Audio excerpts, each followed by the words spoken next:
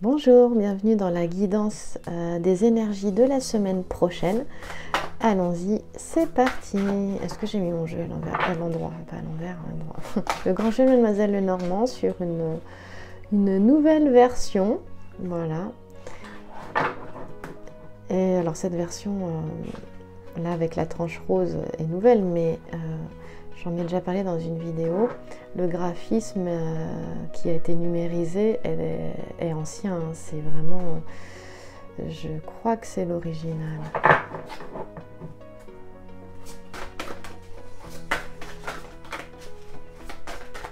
Allez, on y va. Il est, il est beau, je l'aime beaucoup par sa, par sa beauté. Tu as encore moins 50% sur la formation du grand jeu Mademoiselle Lenormand que je t'ai concocté il y a déjà un petit moment avec euh, tous ces bonus. Je te laisse euh, aller voir euh, sur la page de présentation sur sacré-féminin.com où tu trouves le lien de mon site internet sur les profils où tu as le lien de la formation. sous la vidéo de YouTube dans la description, sous la vidéo sur YouTube et avec le code sacré S-A-C-R-E en majuscule 2022 jusqu'au 31 janvier, c'est bientôt. Euh, moins 50% après je retire la, réduction.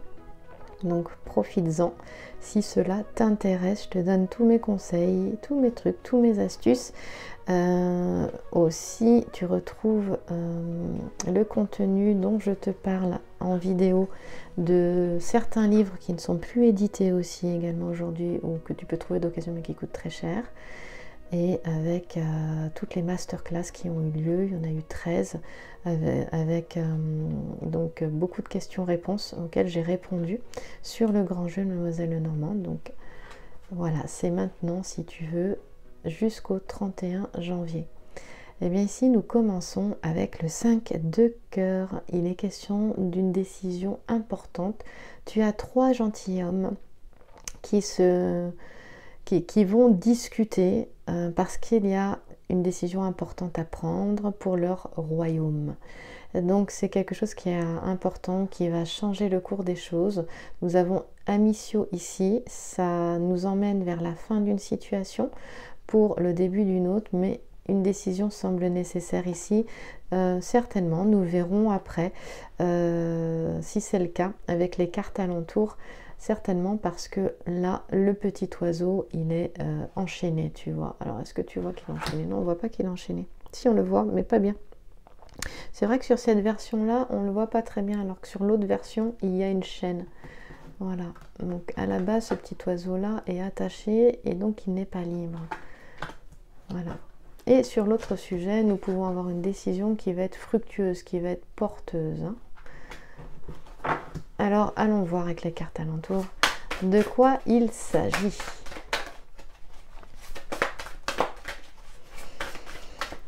J'aime bien, le jeu euh, glisse bien. On va faire un tirage à quatre cartes, justement. Tu peux penser à un domaine qui qui te pose question. Et dans ce cas-là, la guidance sera pour ce domaine-là.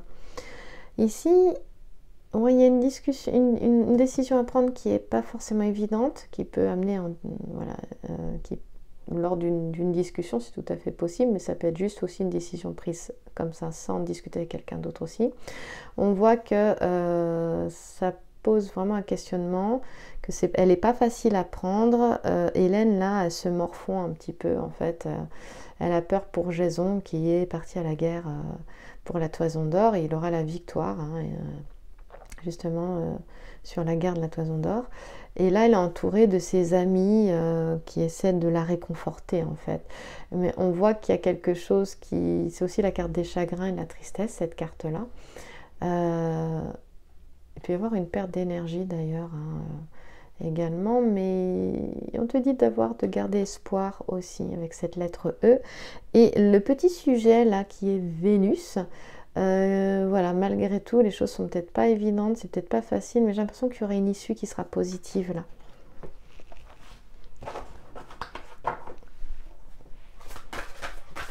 Allez, je vais approfondir les cartes après. Les petits sujets après. Alors. Et oui, il y a une notion de fatalité. Oui. Il y a vraiment la fin d'une situation et le début d'une autre. Euh, très clairement, c'est ah ben j'en ai deux, j'avais pas vu une, j'ai pas vu. Et eh bien on va, on va la garder. Ces deux-là, on va les laisser ensemble. Comme elles sont venues ensemble, je vais les laisser ensemble. En plus, surtout qu'on a deux fois le U là. Hein. Donc, euh, bah, justement,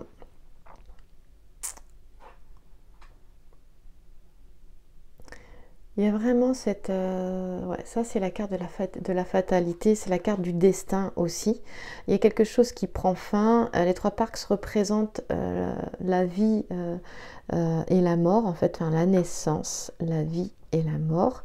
Elles sont trois. Je ne sais pas si tu vois bien, mais comme ça a été numérisé derrière, il y a plein de petites âmes voilà, qui sont derrière, sont des guides, des âmes, des guides. Donc il y a cette notion de, de fatalité. Mine de rien, c'est encore positif ici parce que notre petit sujet là va nous parler de vie longue et tranquille.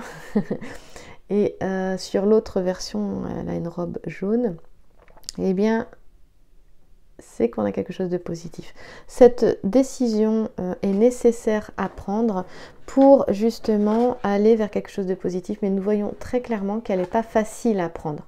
Entre la carte de la, fatalité, la carte euh, du chagrin, de la tristesse ici, euh, pourtant les deux petits sujets tournés vers le centre sont positifs, eh bien nous voyons que cette décision, voilà, elle a peut-être déjà été prise.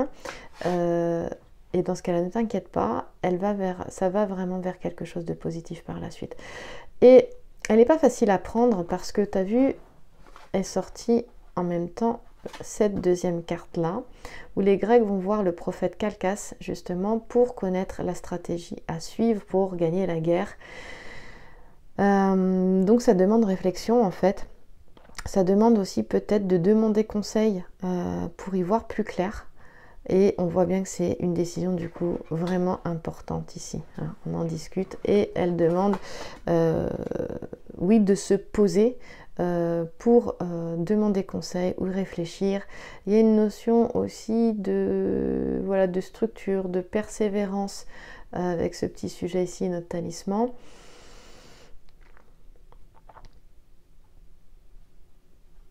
Je parler d'espoir avec la lettre E là. Oui, c'est un mauvais moment à passer. Ça rejoint beaucoup la guidance euh, de ce vendredi où les épreuves finalement, elles impulsent quelque chose de nouveau. Elles permettent une transformation, même si c'est pas agréable. Nous sommes toujours là-dedans.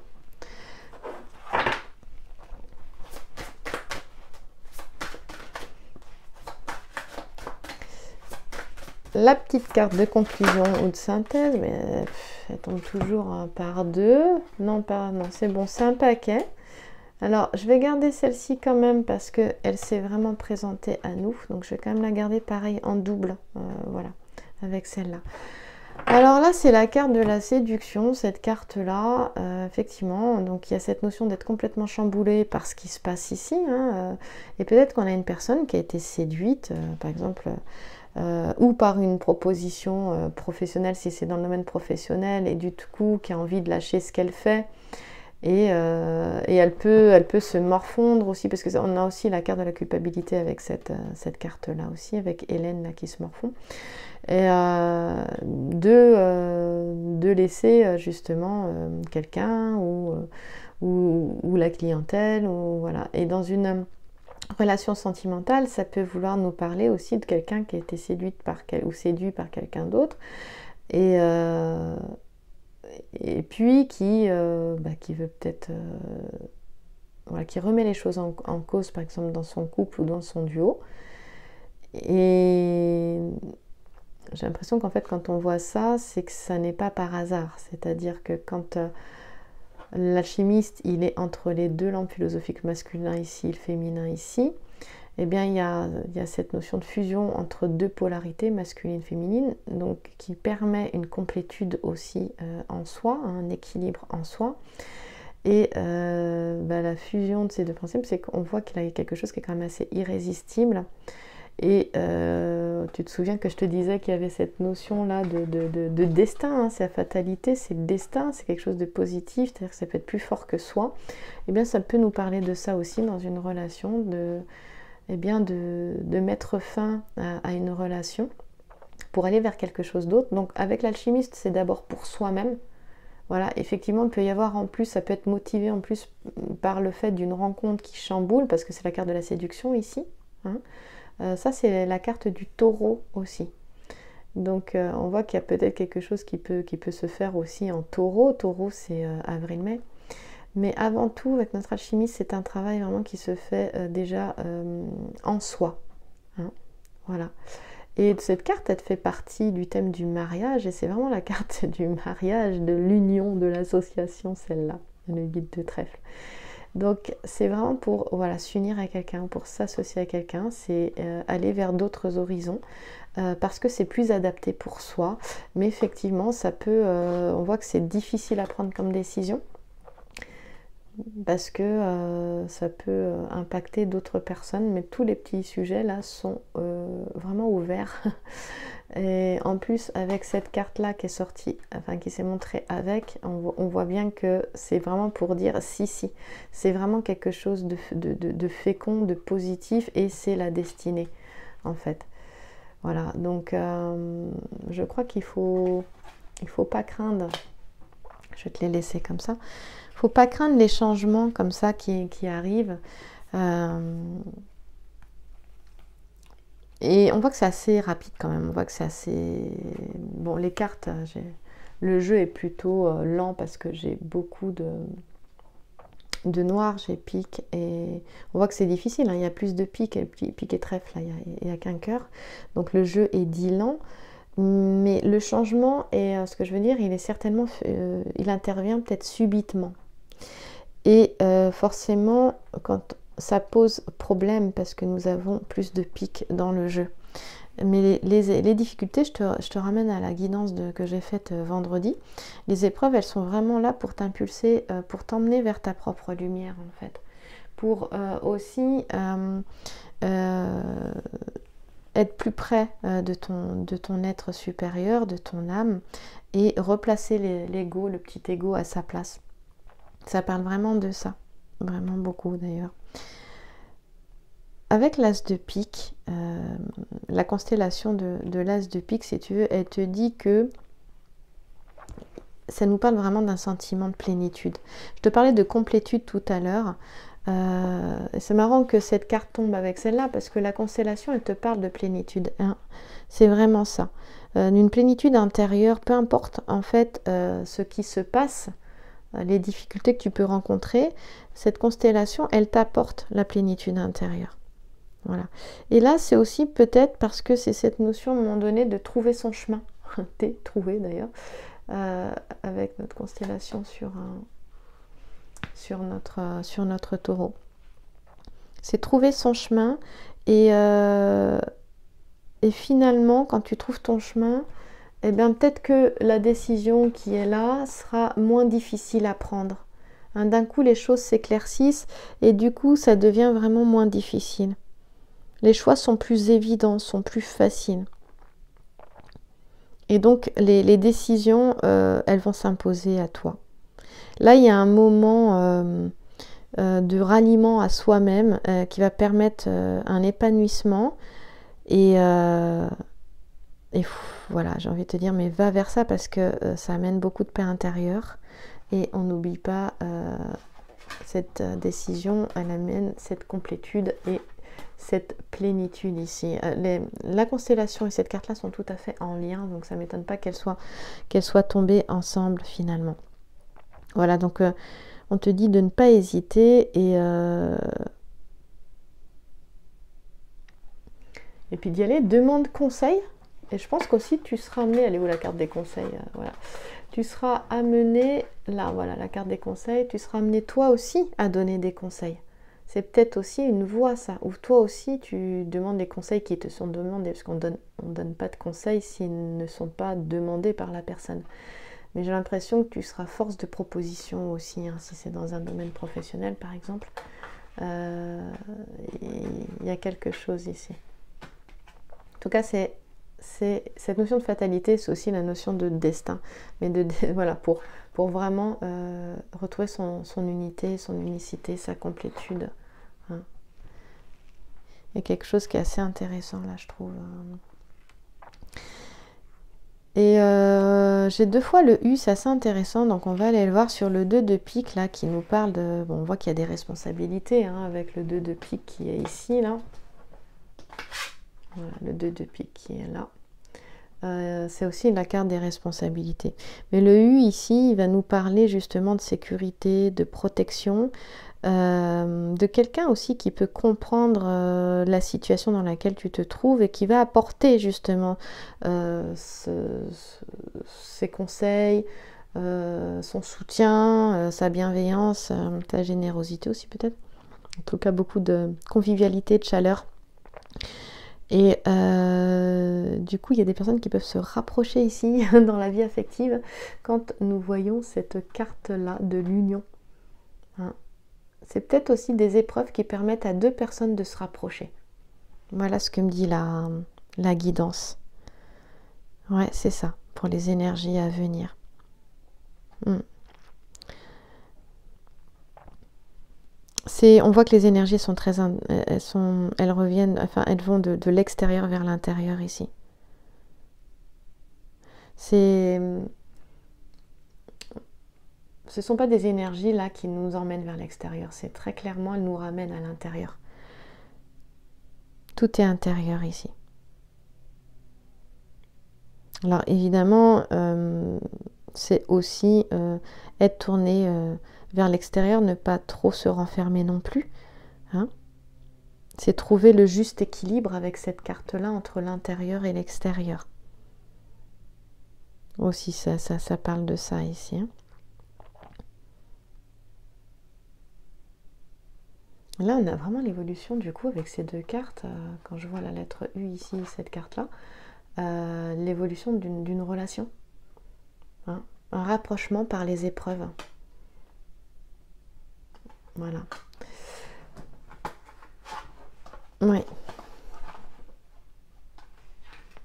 J'aime bien prendre euh, cette version-là du Lenormand. C'est marrant parce que je l'ai cherché, hein, mais bon, je, je, l'ai pas trouvé. Aussi, je crois que j'ai dû la trouver, cette version vraiment originale, mais elle était très très chère. Elle était à plus de 1000 euros. Donc, euh, alors, je reviens, euh, je continue. Je, te disais que le U me parlait quand même beaucoup. La lettre U, elle me parlait d'une utopie réalisée. Est-ce que c'est possible ça? Ça me parlait de ça. Euh, ici, il y a quelque chose. Euh, il y a une demande. Le U, il forme une coupe en fait. Et c'est vraiment, ça relie à recevoir, hein, à, être dans la réception, à recevoir. Et à recevoir quoi? À recevoir ton intuition. C'est vraiment hein, euh, découvrir en fait euh, peut-être euh, découvrir, reconnaître justement ton intuition, euh, quel est le canal de ton intuition justement, la clairsentience, la clairvoyance, la clairaudience, en tout cas quel est le canal principal, parce que tu peux très bien voir les trois, et vraiment développer cette intuition-là. Là, là, on voit que c'est vraiment un don que tu as, qu'il ne faut pas hésiter à... faut pas le mettre de côté en fait. faut vraiment pas le mettre de côté, c'est utilise-le. Et euh, chaque vendredi, euh, chaque dernier vendredi euh, du mois, je te propose un atelier de coaching et intuition avec la masterclass Déploie tes ailes, justement pour ce, qui permet en vivant ce, coaching intuitif avec des outils bien concrets de l'Union Formation, de l'école de coaching et intuition de Gilles Guyon et Vanessa Mixarek. voilà, par lesquels j'ai été formée, eh bien, c'est quelque chose de très concret, mais qui, t'apprend justement à écouter ta voix intérieure. Donc euh, c'est pour un, tout petit tarif cet atelier. Tu, peux, euh, tu peux me rejoindre et nous rejoindre si tu le souhaites. C'est toujours un vendredi par mois, c'est le dernier vendredi du mois. Euh, sauf si il n'y a pas de possibilité, si j'ai un contretemps. Mais en général, je choisis un autre jour si je ne peux pas. Alors, et quand tu t'inscris, euh, en fonction de, la formule, en fait, tu as aussi accès à mes deux autres formations, celle sur le grand jeu Mademoiselle Normand, mais c'est un abonnement. c'est un abonnement mensuel. Hein, et aussi pour apprendre à tirer les cartes de manière paisible, sentir bien, hein, ça c'est important, et eh bien comme je suis professeur de yoga, je t'ai fait tout un pack justement euh, de yoga, yoga et pilates, des séances de yoga et pilates ensemble, qu'on appelle le yoga lat. Tu peux aller voir sur sacré-féminin.com, masterclass des potes et ailes, et tu, as les deux formules, si ça t'intéresse. Et eh bien là, c'est vraiment ça, c'est utiliser, repérer, développer, utiliser ton intuition. Et on te dit, c'est peut-être ça aussi euh, ce qui se passe, les épreuves, en fait, elles t'amènent certainement à écouter beaucoup plus, euh, et plutôt à apprendre à écouter et euh, à retransmettre ce que, tu, ce que tu entends, les messages que tu, que tu ressens, que tu entends ou que tu vois, en fonction du canal de, de l'intuition que tu, que tu, qui est le plus développé chez toi. Donc on te dit de ne pas avoir peur. Euh, alors que euh, quelqu'un peut t'aider en fait euh, justement à faire cela, c'est ce que te dit la lettre U. Et là, il y a des personnes qui peuvent tout de suite, vraiment l'ego ou le saboteur peut tout de suite se mettre en action en prenant ça pour quelque chose d'illuminé ou de complètement perché. Et on te dit que non, non, non. Non, non, de te faire confiance et surtout d'écouter tes ressentis et de faire preuve de discernement. Et euh, on te dit que tu vas pouvoir rendre service avec ça. Alors l'intuition, tu peux l'utiliser aussi par le dessin, euh, tu peux l'utiliser par aussi euh, ta créativité, le domaine artistique, tu vois. Et, donc là, on voit qu'il y a, peut-être une décision à prendre avec la lettre D ici, qui peut être en lien aussi avec ça. En tout cas, c'est vers une pleine réalisation, c'est surtout suivre le chemin de l'âme avec euh, cette carte-là. Et donc voilà ce que nous disent les deux U. Hein. De vraiment, celui-là, il te dit de vraiment suivre ton intuition. D'écouter aussi la voix peut-être de tes guides aussi, les petits guides qui sont derrière, la voix de ton âme en tout cas, ça c'est sûr, et de vraiment l'utiliser pour euh, dans le service à autrui. Voilà. Et euh, de manière commerciale aussi, hein, c'est pas indépendant euh, du tout aussi. Le petit U, il t'en parle ici. Et là, vraiment, donc c'est ça, de prendre conseil auprès d'eux, donc de prendre conseil ou de se former ou quelque chose comme ça. Alors, je suis assez. Euh, ça me perturbe quand même assez parce que je te parle de mes ateliers, mais c'est pas c'est parce que c'est complètement en lien avec ça. Euh, mais c'est pas du tout pour te les vendre à toi. Ce qui est important ici, avec ces deux cartes, c'est vraiment que tu suives euh, l'outil qui sera le plus adapté pour toi. C'est pour ça que je te parlais aussi de ce qui est artistique, hein, que ce soit euh, euh, le dessin, la peinture, la danse, l'écriture, euh, que ce, voilà, pour pouvoir développer ton intuition ou être à l'écoute, tu peux utiliser tous ces moyens-là. Hein, la musique, voilà. En tout cas, c'est trouver l'outil qui te correspond le mieux pour vraiment être de plus en plus en contact avec ton intuition, avec la voix de ton âme, avec les chuchotements de ton âme.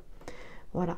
Et là, ça te permet d'être, euh, c'est là, hein, euh, l'ego donne la main à l'âme, complètement en, complétude. Et du coup, il est tout à fait possible qu'une relation te permette aussi d'aller dans cette voie-là également. Et on voit que c'est une relation euh, qui, chamboule, hein, où il y a vraiment il y a question d'être séduite ou d'être séduit si tu es un homme, et qui apporte vraiment beaucoup.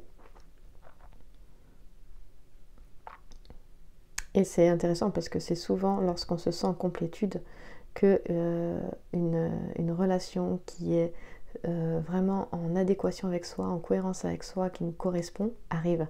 Et sans que euh, nous nous y attendions. Ça me parle beaucoup de ça. Donc voilà pour les énergies du moment. Je vais prendre le tarot essentiel.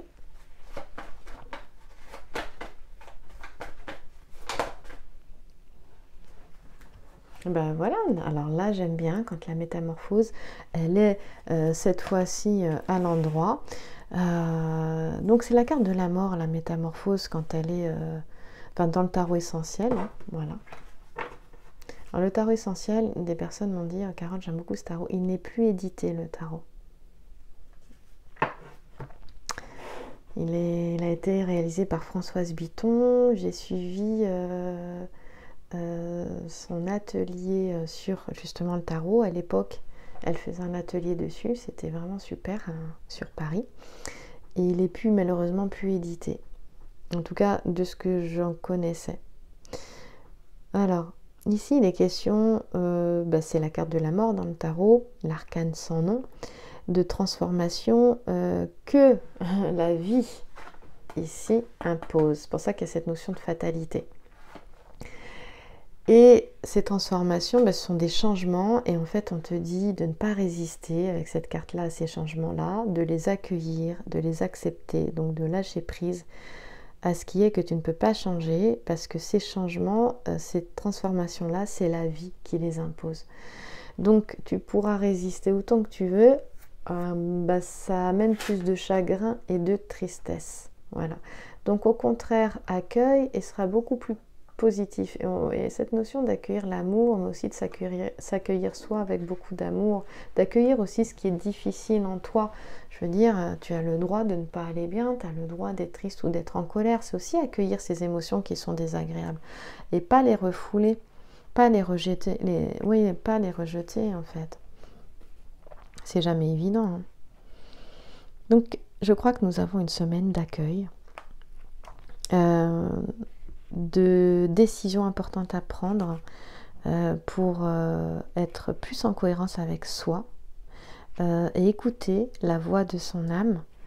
visiblement, les énergies sont très fortes pour les énergies à venir sont très fortes dans, dans cette voie-là. Donc c'est la fin de quelque chose, mais c'est le commencement d'autre chose. Hein, c'est la fin et le commencement. Euh, peut y avoir cette notion de, sacrifice, voire de concession à faire pour évoluer, pour avancer, pour se renouveler. Euh, ça, c'est une notion de... Moi, ce que j'aime, c'est aussi quand même cette carte-là, c'est la, cette notion de renouvellement, de régénération après le chaos, après la, la destruction, qui est ici nécessaire donc, euh, elle, ça va imposer en fait un détachement et une libération. Et c'est marrant, je te parlais de ça tout à l'heure en te disant que le petit perroquet, là, il est attaché. On voit pas la chaîne, mais dans l'autre version, euh, dans la version la plus jeune du Grand Jeune le Normand, il a une chaîne et il est attaché. Et en fait, c'est euh, une, prendre une décision qui va entraîner une libération et te mettre sur le chemin sur la voie de ton âme. C'est vraiment ça. Et donc, euh, c'est comme un passage. Hein, et c'est quelque chose de complètement imprévu avec l'arcane sans nom. Voilà. Tu peux voir ça comme un passage. Voilà. En tout cas, il y a des prises de conscience. La métamorphose euh, à l'endroit, c'est aussi l'acceptation de la vérité. Et tu peux en fait aussi vivre simplement une situation euh, dans laquelle tu trouves et tu as tu as résisté, résisté, résisté, résisté. Et à un moment donné, tu as tellement résisté, tu te rends compte que pendant ces années, tu as finalement plus souffert qu'autre chose. Et là, tu accueilles et tu acceptes enfin la situation. Ça peut être aussi dans ce sens-là. Hein voilà. Là, il y a une notion de dépouillement, très clairement, d'acceptation de, la, réalité, euh, de la vérité. Il y a de, de, sortir de ces illusions avec cette carte ici. Et euh, bah aussi, c'est percevoir une nouvelle réalité. Aussi, une réalité euh, sans superflu, une réalité euh, dépouillée des illusions, je dirais. Voilà, c'est une véritable mort initiatique, mais qui est positive. Et du coup, une petite aide avec... Je vais terminer là, les énergies de la semaine. La vie est impermanence, seul le changement est permanent et elle t'emmène toujours dans une constante évolution Et lorsqu'il y a stagnation dans la vie, il y a mort. Mais on se rend compte ici avec l'arcane sans nom que même la mort, la mort permet l'évolution et la mutation. J'en ai deux. Alors j'ai l'archange Michael qui se présente à toi, qui apporte son aide. Archange, l'archange t'offre du courage pour affronter une situation et vaincre tes peurs. De son épée, il tranche les nœuds émotionnels qui te lient au négatif, tout se libère. Euh, c'est vraiment très en lien avec, encore une fois, je veux dire, avec la guidance que j'ai fait euh, vendredi, qui a été postée vendredi. Cosmos, euh, cette guidance, elle a été faite d'ailleurs uniquement avec le tarot essentiel. Donc avec ce tarot-là. Tu pourras le voir, je pense, euh, sur euh, la miniature de YouTube. Et ici, donc on a l'archange Michael en aide et tout ce qui est relié au cosmos. Là, c'est la Terre. Il y a cette notion d'ancrage avec la Terre. À chaque pas, la Terre-Mère porte ta vie. Connecte-toi à sa fertilité, à sa générosité, alors tes rêves et toutes tes actions deviennent des graines qui fructifient.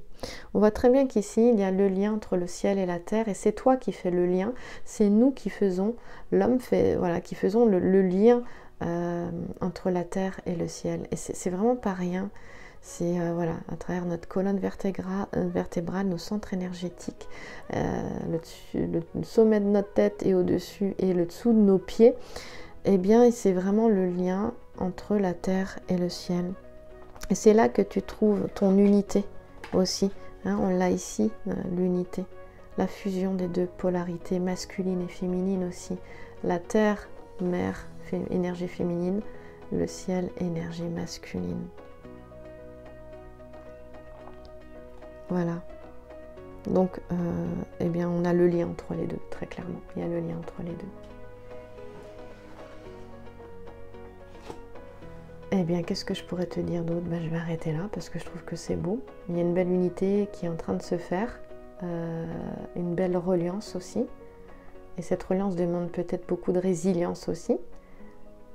Et je te remercie pour ton écoute et on se retrouve dans les petites guidances euh, quotidiennes. Merci à toi.